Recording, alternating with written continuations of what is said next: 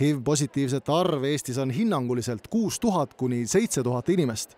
kolmekümne esimese oktoobri seisuga on tuvastatud kakssada kolmteist uut HIV-nakkust, sealhulgas sada kaheksa Ukrainast tulnud isikut. vastavalt WHO kalkulaatorile võib Eestisse saabuda kolmsada üheksakümmend HIV-positiivset, sealhulgas viis last kuna me teame, et me praegu peame äh, aitama sõjapõgenikke, siis selle võrra on meil tulnud nagu noh, topelt juurde aga need on inimesed, enamus nendest, kes on oma kodumaal juba teadnud oma haigusest, seal ravi saanud ja nüüd tulid siia, et meil ennast arvele võtta ja siin ravi jätkata. vähemalt korra elus võiksid end HIV-i suhtes testida kõik seksuaalselt aktiivsed inimesed.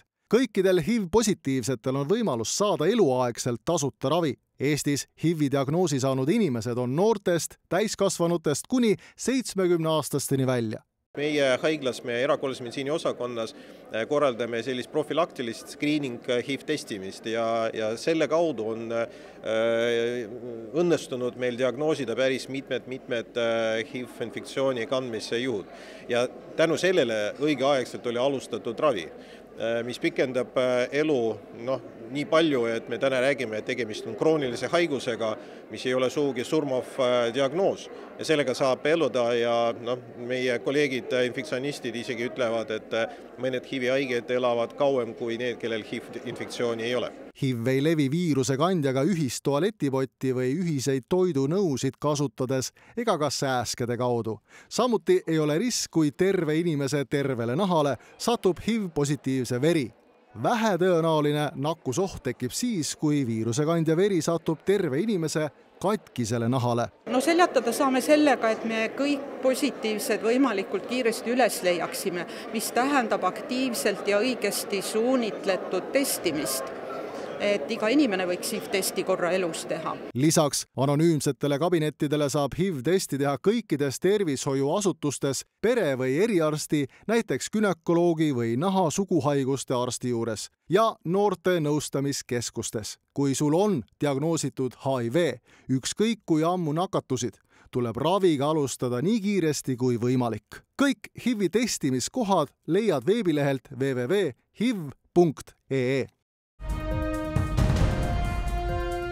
Mustamäe lasteaia õpetajad jooksid täna esmakordselt kliimamuutustele tähelepanu pööramiseks Männi pargis teatejooksu.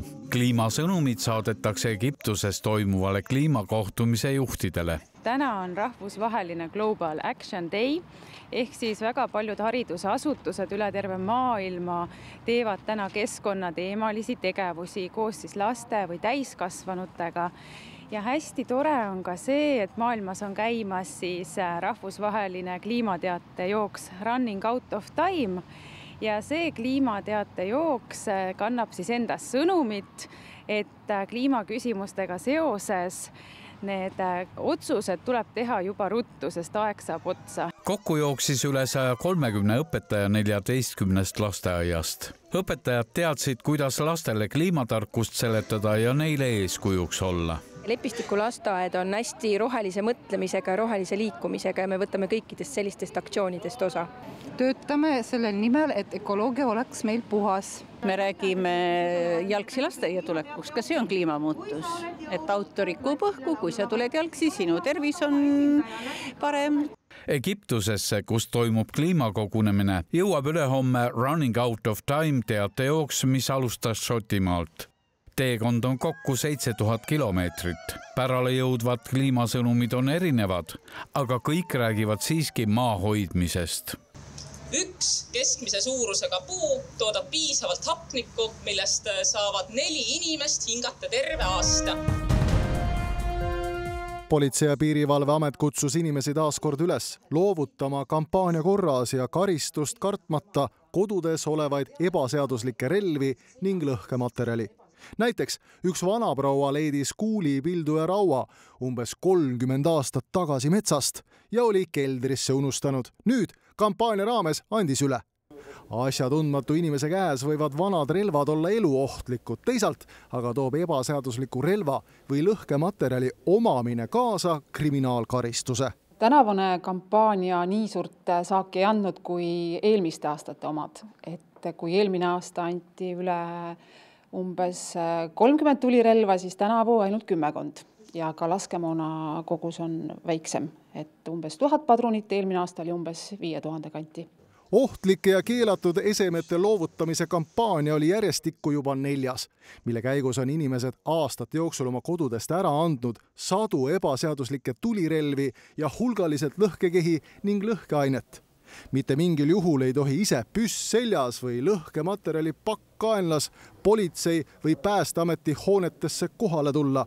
kui kellelgi on enda või lähedase majapidamises ebaseaduslikke relvi, nende osi või lõhkematerjali, siis tuleb helistada üks, üks, kaks ning sellest teada anda. me teame kõik, et, et inimestel selliseid ähm, relvi seal kodudes ikkagi on ja, ja leitakse ja, ja see kampaania näitab ka, et et tegelikult teatakse ka, et vot vanaisast või vana-vanaisast on mingi relv jäänud, aga, aga kampaania siis annab võimaluse need äh, üle anda, et inimesed siis teaksid, et, et see päris okei okay ei ole, et see relv seal kodus on. kampaania kestis esimesest kuni kolmekümne esimese oktoobrini, kuid karistust kartmata saab ebaseaduslikke relvi ja ohtlikku lõhkematerjali vabatahtlikult loovutada aasta ringi pimedate ööde filmifestival ehk PÖFF on taas kinosaalidesse naasmas ning toimub tänavu üheteistkümnendast kahekümne seitsmenda novembrini. selle aasta programmist on publikul vaatamiseks valida viiesaja viiekümne ühe erineva filmi vahel. elamusi pakuvad kinokunsti meistriteosed seitsmekümne viiest riigist. tulemus on PÖFFi kõigi aegade tugevaim programm. meil on äh, tohutult palju külalisi, kes kõik on tulnud esitlema filme et vaatel on erakordselt palju huvitavaid kohtumisi filmitegijatega, äh, kui nad tulevad nagu ennekõike võistlusprogramme vaatama, aga ka paljudel kõrvaprogrammide filmidel on olemas äh, külalised. sel aastal on erakordselt suur arv esilinastusi, seitsekümmend kaheksa maailma esilinastust, nelikümmend kaheksa rahvusvahelist ja kaksteist Euroopa esilinastust.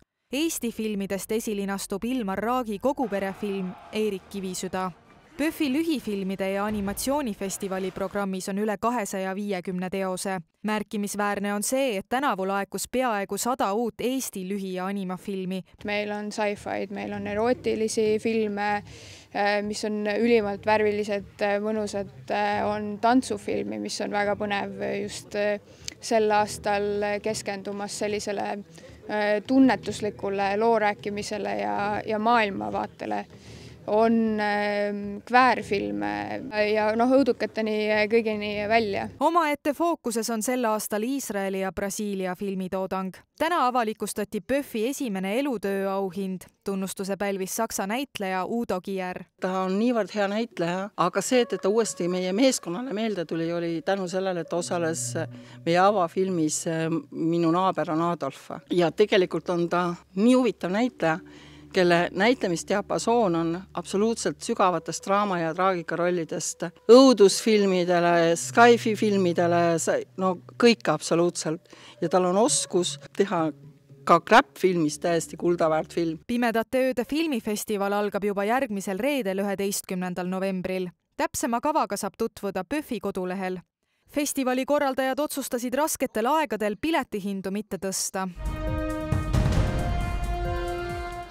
Mustamäe huvikool saab uue kaasaegse maja. varasema nimega Mustamäe laste ja loomingu maja alustas tööd tuhande üheksasaja kaheksakümne neljandal aastal. kui algusaastatel käis huvikoolis kakssada last, siis tänaseks on õpilaste arv tõusnud tuhandeni. koolidirektor ütleb, et huviharidus on iga lapse edukaks olemise pant kuupäev ei ole paigas, aga kuu on juba paigas. me loodame, et aprillis me ja ootame väga ja tegelikult täna on meil üks superpäev täna on meie sünnipäev. täna meie maja saab kolmekümne üheksa aastaseks. Mustamäe lasteloomingu majas tegutseb üheksakümmend huviringi, mida juhendab viiskümmend õpetajat. Neist käivad nelja kuni üheksateistkümne aastased lapsed ja noored. huvikoolis on koolivaheaegadel korraldatud mitmeid lastelaagreid, ka talvisel ja sügisel vaheajal iga objekt, mis Mustamäel tuleb, on ju Mustamäe inimeste jaoks ja loomulikult mustamäelased on ju suured võitjad. meil on see aasta juubel äh, kuuskümmend ja tegelikult äh, kogu see aasta on ju pühendatud äh, meie inimestele. mul on hea meel, et me see aasta on rõhk pandud haridusasutustele, on see siis riigigümnaasium, Mustamäe huvikool, Rõõmupesa lasteaed, nii et Mustamäe ehitab kogu aeg avas Saku Suurhallis uksed Mardi Laat. kohal on Eesti parim käsitöö, suur valik aksessuaare ja ehteid, keraamikat, kudumeid ja palju põnevat toidupoolist.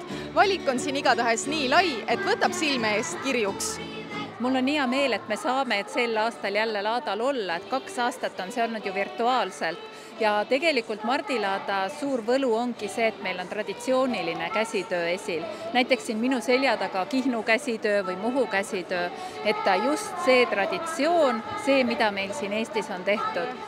kuidas Mardilaat meeldib? Mardilaat on suurepärane, ma soovitan kõigile soojalt. ma olen osalenud isegi ühes töötoas. Ma tegin liivakaarte kokku on Mardi laadal tänavu üle kahesaja kaupleja, kes on saabunud metsade, kes mere tagant. Näiteks Saaremaalt on kohale tulnud keraamik Riine Sooäär, kes ammutab inspiratsiooni nii loodusest kui ka lihtsalt ilusatest ja puhastest mõtetest meie ümber. no näiteks eh, siin on selline kell, kus on kala peal. sain selle mõtte siis, eh, kui me ükskord isaga koos käisime kalal, aga saime võrku ainult ühe kala ja siis küpsetasime seda, siis ma, siis mul, siis ma mõtlesin selle peale, siis tuligi see mõte sellist kella teha. pihlakas on teatavasti kaitsva võimega ning puit üldse mõjub inimestele vaid hästi. Mardi Laadalt leiab ka Vainu disaini, kes on kohal oma head energiat kiirgavate ehetega. on inimesi, kes tulevad juurde, panevad käe peale, ütlevad, et oi, et te olete olnud väga väsinud seda valmistades, aga väga õnnelik, kui te valmis olete saanud, et inimesed tunnetavad ikka puitu Veneetsia klaasist valminud maagiliste ehete laua juures püüdsid meie pilku aga Eesti rahvuslilledest kõrvarõngad. kõigil, kes armastavad lambavillast valminud sokke, kindaid või kaltsuvaipasid, tasub üles otsida Iisaka talu. Need kõik asjad on südamega tehtud minu, meie pere soojade kätega. Programmis on ka palju muusikalisi etteasteid, avatud on töötoad ning reede õhtul kell kaheksa algab käsitöööö, kus tutvustatakse rahvarõivaid ja etnomoodi. Mardi laat on avatud kolmandast kuuenda novembrini